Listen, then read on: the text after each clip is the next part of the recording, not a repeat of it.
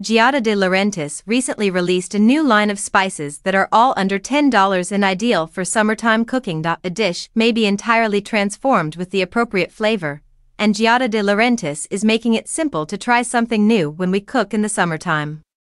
Her latest spice collection is packed of interesting flavor combinations, and we can't stop salivating over the things we could prepare with them. The new spices, all of which cost less than $10, were shared by the Italian chef on her Giadzy website.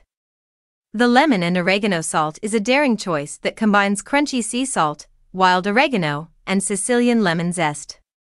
Any fish meal will taste better with this unusual flavor combination, which may also be used on vegetables, in sauces, or in salad dressings. Use De Laurentiis spicy seasoned salt to reheat your food.